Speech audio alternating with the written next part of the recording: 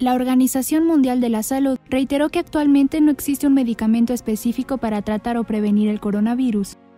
En una infografía, publicó que mientras que varios ensayos de fármacos están en curso, actualmente no hay pruebas de que la hidroxicloroquina o cualquier otro medicamento puede curar o prevenir el COVID-19.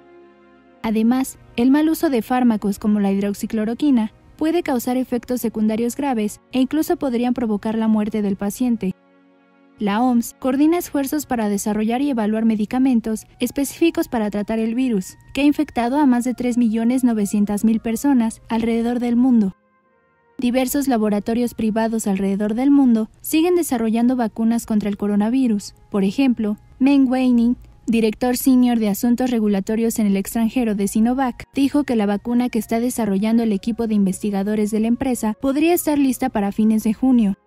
Sin embargo, es un proceso largo en el que de ser efectiva y eficaz, solo se podrían producir máximo 100 millones de dosis, por lo que necesitan asociarse con otros fabricantes para expandir su distribución y producción.